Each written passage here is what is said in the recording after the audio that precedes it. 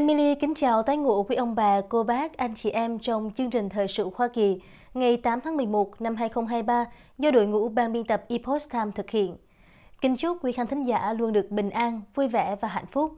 Trong bản tin ngày hôm nay, Emily xin gửi tới quý vị những nội dung đáng chú ý sau đây. Mỹ, Trung Quốc có cuộc đàm phán hiếm hoi về kiểm soát vũ khí hạt nhân. Nội chiến đảng Dân Chủ, tay sai của mụ Pelosi lệnh cứu tác trời giáng từ chính trong đảng. Bộ trưởng Tài chính Mỹ sẽ gặp Phó Thủ tướng Trung Quốc. Và sau đây là phần thông tin chi tiết. Kính thưa quý vị, phát biểu với báo giới, người phát ngôn Bộ Ngoại giao Mỹ Vedant Patel cho biết, việc Trung Quốc tham gia vào việc kiểm soát vũ khí sẽ đảm bảo cạnh tranh không dẫn đến xung đột. Vào ngày 6 tháng 11, Mỹ và Trung Quốc đã tổ chức cuộc đàm phán hiếm hoi tại thủ đô Washington DC về vấn đề kiểm soát vũ khí hạt nhân. Trong bối cảnh cuộc gặp giữa Joe Biden và Chủ tịch Trung Quốc Tập Cận Bình dự kiến diễn ra tuần tới tại San Francisco, bang California, bên lề hội nghị cấp cao Diễn đàn Hợp tác Kinh tế Châu Á-Thái Bình Dương.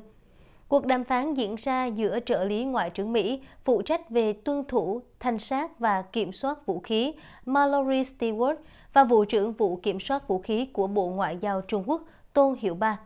Đây là cuộc gặp đặc biệt đầu tiên về chủ đề vũ khí hạt nhân giữa hai cường quốc kể từ thời chính quyền Barack Obama.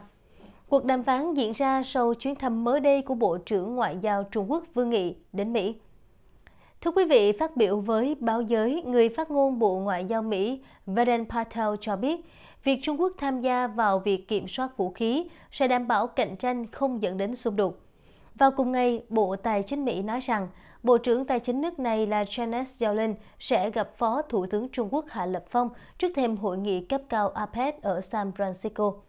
Theo thông báo, hai quan chức này sẽ gặp nhau trong hai ngày 9 ngày 10 tháng 11 nhằm ổn định mối quan hệ giữa Mỹ và Trung Quốc và giúp đạt được tiến bộ trong các vấn đề kinh tế. Cuộc gặp diễn ra trong bối cảnh hai nước tăng cường đáng kể liên lạc. Theo một quan chức Bộ Tài chính Mỹ giấu tên, trong các cuộc gặp sắp tới, hai bên dự kiến sẽ chia sẻ quan điểm về nền kinh tế của mỗi nước và nền kinh tế toàn cầu. Bộ trưởng Giao Linh có thể sẽ nêu những quan ngại về các hoạt động kinh tế như rào cản tiếp cận thị trường cũng như các vấn đề liên quan đến an ninh quốc gia. Ngoài ra, hai bên cũng có kế hoạch thảo luận về các thách thức như là biến đổi khí hậu và gánh nặng nợ, đồng thời tìm kiếm các lĩnh vực hợp tác khác. Cuộc gặp giữa Bộ trưởng Giao Linh và Phó Thủ tướng Hà Lập Phong dự kiến sẽ là bối cảnh cho cuộc gặp tiếp theo giữa Tổng thống Biden và Chủ tịch Tập Cận Bình. Tòa Bạch Ốc cho biết, Tổng thống Biden đang hướng tới các cuộc đàm phán mang tính chất xây dựng với nhà lãnh đạo của Trung Quốc và cũng là một cuộc đàm phán đầu tiên kể từ khi hai ông gặp nhau ở Bali, Indonesia vào tháng 11 năm 2022. Nội chiến đảng Dân Chủ, tay sai của một Pelosi lệnh cứu tác trời giáng từ chính trong đảng. Quý vị thân mến, đảng Dân Chủ thực sự đang hoảng loạn vì sự thất bại của Joe Biden trước ứng cử viên Tổng thống số 1 Donald Trump bởi những cuộc thăm dò gần đây mà Tổng thống Trump hoàn toàn áp đảo và cử tri vô hình dung đã đẩy Joe Biden ra chuồng gà. Họ hoảng loạn thật rồi, họ cần người thay thế Joe Biden và không ai khác. Họ đặt hy vọng cuối cùng vào tay sai của bà Nancy Pelosi là thống đốc bang California Gavin Newsom. Tuy nhiên, Gavin Newsom được cho là đang thực hiện chiến dịch tranh cử trong bóng tối, không đủ can đảm để tuyên bố tranh cử. Điều này đã khiến cho các nghị sĩ đảng Dân Chủ phải tức điên và cuối cùng họ đã phải lên tiếng chỉ trích ông Gavin Newsom. Dẫn đầu là Thượng nghị sĩ Festerman, tuyên bố trong bữa tối của đảng Dân Chủ ở Iowa cuối tuần qua rằng hãy để tôi nói điều này có thể không thoải mái. Hiện tại có thêm hai đảng viên đảng Dân Chủ đang tranh cử ở Pennsylvania. Xin lỗi, đang tranh cử Tổng thống. Một là nghị sĩ đến từ Minnesota, người còn lại là thống đốc bang California. Cả hai đều đang tranh cử chức vị tổng thống, thế nhưng có một người khác đã không có can đảm để thông báo điều đó. Festerman tiếp tục, tôi phải nói với bạn, hãy để tôi nói với bạn rằng tôi có ý kiến. Nếu bạn là đảng viên của đảng Dân Chủ muốn chỉ trích và theo đuổi Joe Biden, hãy cứ viết xét cho Trump. Đảng viên đảng Dân Chủ Pennsylvania đang đề cập đến một thông báo gần đây của dân biểu đảng Dân Chủ Dean Phillips rằng ông sẽ đưa ra thách thức chính đối với Biden, trong khi Newsom phải đối mặt với cáo buộc trong những tháng gần đây, đó là tranh giành chức vụ mà không thông báo chính thức. Thưa quý vị, chuyến đi này tới đây, ông ấy đang cố gắng xây dựng một căn cứ Dân biểu đảng Cộng hòa Dao Lamafa nói với Fox News Digital vào tháng trước khi trả lời về một số chuyến đi nổi tiếng mà Nixon đã thực hiện, bao gồm cả tới Trung Quốc, khi ngày càng có nhiều đồn đoán rằng Biden có thể sẽ không tranh cử trong một giây. Ông ấy đang chạy các kênh phía sau cho đến khi Biden tự rút lui và đảng nói, anh bạn, chúng ta sẽ bị giết vì chuyện này. Cuộc tấn công của Festerman vào Newsom diễn ra cùng thời điểm một cuộc thăm dò của New York Times. Stina Collette cho thấy 76% cử tri đồng ý rằng 80 tuổi là quá già để phục vụ một nhiệm kỳ khác. Thưa quý vị, vậy quý vị có nghĩ ông Gavin Newsom có đang ngầm tiến hành một chiến dịch tranh cử tổng thống hay không? Đây là điều mà cả đảng Dân Chủ và đảng Cộng Hòa đều thắc mắc liệu thống đốc tiểu bang vàng có phải là ứng cử viên thay thế hay là không.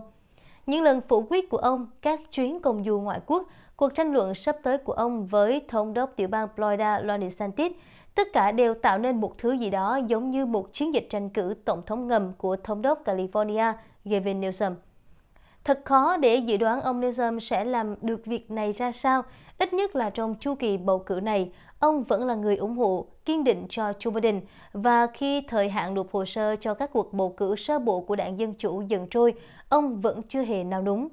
Ông có thể đang tích sức cho chiến dịch tranh cử vào năm 2028, hai năm sau khi giới hạn nhiệm kỳ của tiểu bang sẽ buộc ông phải rời khỏi dinh thự thống đốc. Hoặc nếu các sự kiện được sắp xếp thật vừa vặn, thì ông có thể hành động sớm hơn. Ông Maurice Fiorina, giáo sư khoa học chính trị và là thành viên của Viện Hoover tại Đại học Stanford, nhận định rằng Tôi cho là đã khá rõ ràng, ông Newsom đã và đang chuẩn bị bản thân cho cuộc tranh cử vào năm 2028 và sẽ sẵn sàng tranh cử vào năm 2024 nếu sức khỏe hoặc năng lực của ông Biden xấu đi đến mức đảng Dân Chủ quyết định rằng họ cần một ứng cử viên khác. Dân biểu California James Gallagher, người lãnh đạo đảng Cộng hòa tại Hạ viện California, cũng đã đặt ra nghi ngờ về khả năng vận động tranh cử thêm một nhiệm kỳ nữa của ông Joe Biden. Thưa quý vị, ông Mike Gallagher nói rằng, ngay bây giờ, khi ở nơi công cộng, ai cũng nói rằng họ đang tập hợp đằng sau ông Joe Biden, nhưng rõ ràng là ông ấy đang xa suốt phong độ. Bà Gloria Romero, một thành viên đảng Dân Chủ từng lãnh đạo đa số của Thượng viện tiểu bang California cho biết, bài toán khó giải là vị trí phó tổng thống và gọi ông Newsom là ứng cử viên thay thế. Bộ trưởng Tài chính Mỹ sẽ gặp Phó Thủ tướng Trung Quốc. Thưa quý vị, Bà Bộ trưởng Tài chính Hoa Kỳ Janet Yellen sẽ gặp Phó Thủ tướng Trung Quốc He Li Fong tại San Francisco trong tuần này để cố gắng tăng cường đối thoại giữa hai nền kinh tế lớn nhất trên thế giới trước hội nghị thượng đỉnh do Hoa Kỳ tổ chức giữa các nhà lãnh đạo vành đai Thái Bình Dương. Bộ Tài chính Mỹ cho biết các cuộc họp từ ngày 9 đến ngày 10 tháng 11 cũng sẽ triệu tập các diễn đàn kinh tế và tài chính mới được khởi động vào tháng 10 bởi Kho bạc Nhà nước và Bộ Tài chính và Ngân hàng Trung ương Trung Quốc. Jolin lần đầu gặp ông Hy, nhà lãnh đạo kinh tế mới của Trung Quốc vào tháng 7, khi bà đến thăm Bắc Kinh để cố gắng ổn định mối quan hệ giữa Mỹ và Trung Quốc đang xấu đi trong bối cảnh Mỹ ngày càng hạn chế các công nghệ nhạy cảm. Các cuộc họp ở San Francisco sẽ diễn ra ngay trước khi chính quyền Biden tiếp đón các bộ trưởng và lãnh đạo các nước hợp tác kinh tế châu Á-Thái Bình Dương từ ngày 11 đến ngày 17 tháng 11, một cuộc họp mà Joe Biden đang hướng tới gặp Chủ tịch Trung Quốc Tập Cận Bình. Một quan chức cấp cao của Bộ Tài chính Hoa Kỳ đã hạ thấp ý kiến cho rằng sẽ có những kết quả cụ thể từ cuộc gặp Jalen He, nói rằng đây không phải là một tình huống trao đổi chính sách nơi chúng ta đánh đổi thứ này để lấy thứ khác. Tuy nhiên thì thưa quý vị, quan chức này cho biết rằng mục tiêu chính của Janet Yellen là hiểu rõ hơn về cách thức hoạt động của đường dây liên lạc kinh tế Mỹ và Trung Quốc mới và cách đảm bảo rằng nó không dễ bị tổn thương trước những cú sốc. Đồng thời nói thêm rằng sẽ có nhiều tương tác thường xuyên hơn. Bà Zhao Linh cũng muốn thảo luận về những bước đi mà các quan chức của Trung Quốc đang dự tính để hỗ trợ sự tăng trưởng kinh tế đang suy yếu của họ và những tình huống nào có thể thay đổi được đường lối chính sách của họ. Trong bối cảnh ngày càng lo ngại rằng Trung Quốc sẽ cố gắng bán thêm hàng hóa sản xuất vào thị trường Mỹ và toàn cầu, Zhao Linh dự kiến sẽ cảnh báo ông Hy không nên sử dụng các khoản trợ cấp công nghiệp lớn cho các công ty nhà nước và loại các công ty Mỹ ra khỏi thị trường nội địa, quan chức này cho biết. Cuối cùng thêm một lời kết, Emily và cộng sự rất mong quý ông bà, cô chú và anh chị em bấm like và chia sẻ video này tới bạn bè và người thân. Cảm ơn quý vị và các bạn đã quan tâm theo dõi. Xin kính chào tạm biệt và hẹn gặp lại quý vị trong những bản tin tiếp theo được phát sóng hàng ngày trên kênh BTV Epoch Time. Kính chúc quý khán thính giả một ngày mới tràn đầy năng lượng và bình an.